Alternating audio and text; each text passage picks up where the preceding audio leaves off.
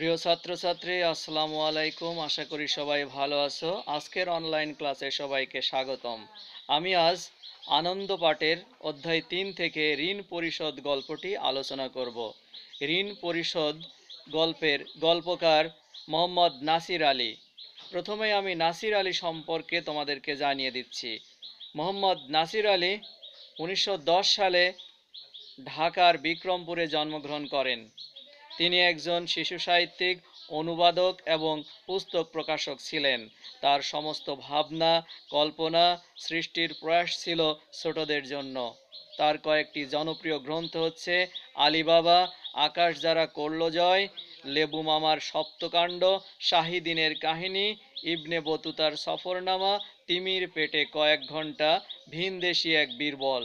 শিশু সাহিত্যের জন্য তিনি বাংলা একাডেমি পুরস্কার পান উনিশশো সাতষট্টি সালে এবং ইউনেস্কো পুরস্কার পান উনিশশো আটষট্টি সালে।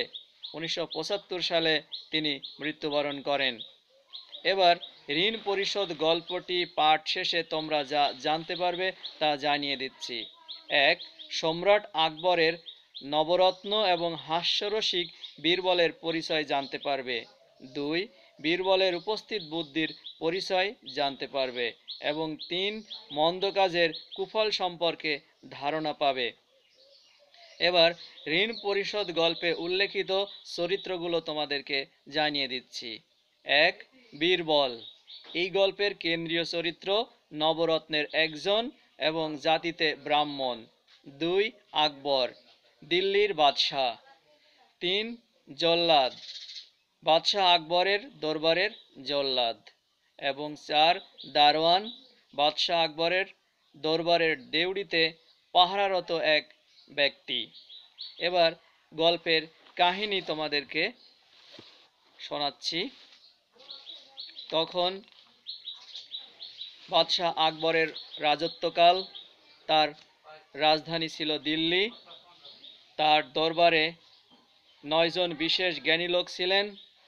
তারা হলেন আবুল ফজল, মোল্লা, দোপিয়াজা, রাজা মানসিংহ, খান খানান, কবি গঙ্গা, ফৈজি, তানসেন, বীরবল এবং তোডরমল। এক এক বিষয়ে এক একজন ছিলেন যেন একটি অমূল্য রত্ন। তাই তাদের নয়জনের দলটিকে বলা হতো রবর নবরত্ন। বাদশাহ আকবরের নবরত্নের একজন ছিলেন এক গরিব ব্রাহ্মণ। তিনি হাস্যরসিক ছিলেন আর খুব গল্প বলে আসর জমাতে পারতেন।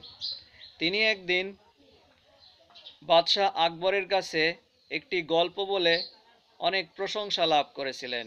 বাদশাহ আকবর খুশি হয়ে তাকে বকশিস দিতে চাইলেন। ব্রাহ্মণ তখন বললেন, আপনার জল্লাদকে হুকুম করুন আমার পিঠে চাবুকের একশো ঘা দিতে। তাই হবে আমার মনের মতো বকশিস। ব্রাহ্মণ ছিলেন খুব নাসরবান্দা আকবর কোনো উপায় না পেয়ে শেষে তার জল্লাদকে হুকুম দিলেন। জল্লাদ চাবুক মারতে শুরু করলেন। পঞ্চাশ ঘা মারার পরে হঠাৎ ব্রাহ্মণ হাত উঠিয়ে বলে উঠলেন, থামো থামো, আর নয়। বাদশাহ বললেন, থামাও থামাও, আর মেরো না। ব্রাহ্মণ তখন বললেন শাহানশাহ এবার আমার ঋণ পরিশোধের সময় এসেছে।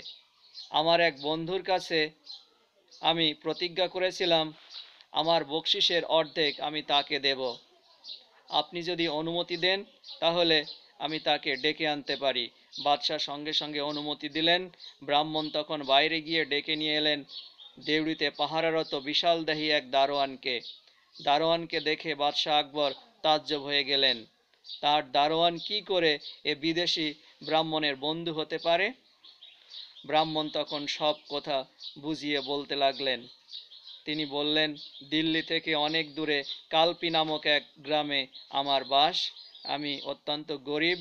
আপনার অনেক সুনামের কথা শুনেছি, তাই আপনাকে দেখার জন্য পায়ে হেঁটে এই শাহী মহলে এসেছি। কিন্তু মহলে ঢোকার সময় আপনার দারোয়ান আমাকে বাধা দেয়। তিনি আমার কাছে বকশিস চাই। বকশিস না দিলে তিনি আমাকে ঢুকতে দিবেন না। আমার কাছে কোনো টাকা ছিল না, তাই আমি তাকে বললাম, বাদশাহ যদি খুশি হয়ে আমাকে কোনো বকশিস দেয়, তার অর্ধেক আমি আপনাকে দেব। ঠিক আজ আপনি আমাকে বকশিস দিচ্ছেন, এর বাকি অংশ তার প্রাপ্য। ব্রাহ্মণের কথা শুনে উপস্থিত আরও অনেকে দারোয়ানের নামে নালিশ করল। তারাও দারোয়ানকে বকশিস দিয়েই দরবারে ঢুকেছে। এসব কথা শুনে আকবর খুব রেগে গেলেন। তিনি বললেন, দারোয়ানকে পঞ্চাশ ঘা চাবুক মেরে রাজ্যের বাইরে তাড়িয়ে দাও। সেই দিনই দারোয়ানকে চাবুক মেরে তাড়িয়ে দেওয়া হলো। আর ব্রাহ্মণ লোকটিকে অনেক টাকা বকশিস দেওয়া হলো। এই ব্রাহ্মণই বাদশার নবরত্নের একজন আর ইনি বিখ্যাত হাস্যরসিক বীরবল। এই ছিল ঋণ পরিশোধ গল্পের কাহিনী। এবার গল্পের ভাববস্তু তোমাদেরকে জানিয়ে দিচ্ছি। ঋণ পরিশোধ গল্পে মোহাম্মদ নাসির আলী সুন্দর ও শিক্ষণীয় একটি ঘটনা তুলে ধরেছেন। বাদশাহ আকবরের রাজদরবারে নয়জন বিশেষ জ্ঞানী লোক ছিলেন। এ দলটিকে বলা হতো নবরত্ন। বিখ্যাত হাস্যরসিক বীরবল এ নবরত্নের একজন।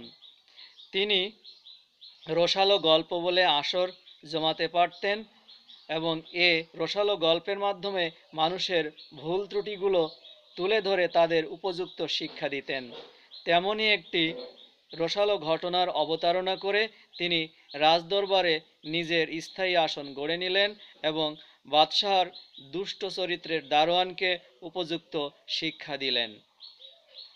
এবার ঋণ পরিশোধ গল্পের শিক্ষণীয় দিক তোমাদেরকে জানিয়ে দিচ্ছি। ঋণ পরিশোধ গল্পের শিক্ষণীয় দিক হচ্ছে অপরাধীর শাস্তি পাওয়া। আমি আশা করি তোমরা আমার আজকের আলোচনা বুঝতে পেরেছ। তোমরা বাসায় গল্পটি পড়বে, গল্পের শব্দার্থ টিকাগুলো পড়বে, পড়ে এই গল্প থেকে বিশটি জ্ঞানমূলক প্রশ্ন এবং উত্তর লিখবে। আজকের মতো এখানেই শেষ করছি। সবাইকে ধন্যবাদ।